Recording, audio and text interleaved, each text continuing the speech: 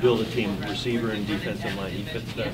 Well, no, definitely uh, Ese fits that uh, bill for us. I mean, we're going to start, you know, Jabari at, the five technique. I think we've already made that, and uh, you know, we have to be able to uh, not only uh, have a good football player start there, but we have to have guys that can come in, uh, you know, play the role position. And when you look at his attributes, you know, he is a tremendous athlete. He's young, but you know.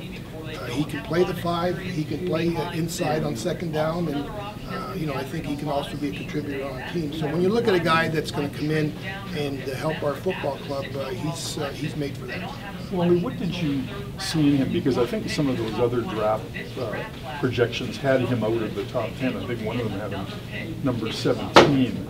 But I mean, did you see something in, in the combine? Did Well, you, yeah, I mean, uh, what I saw is a guy that, uh, you know, when you look at uh, 6'3", 260-pound defensive lineman, uh, he's very athletic. Uh, like I can play the five technique, but also can play inside on second down. And, uh, you know, we're trying to build our team. We're also trying to make sure that, uh, you know, we have uh, depth and the ability to have two maybe Canadian starters on defense. And you have to be able to, you know, not just count on your starters, but you got to be able to count on the fact that if there's an injury or if, you know something occurs, that you have uh, good football players to step up. who does he remind you of in, in your CFL history?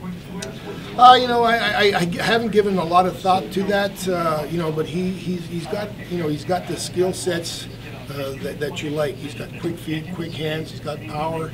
You know, and uh, you know the thing about uh, these guys is, uh, you know, at this next level, the, the competition will be better. Uh, they'll get more coaching. They'll get more reps, and uh, you know, I, I just believe the skill sets is something that's going to be very good for us.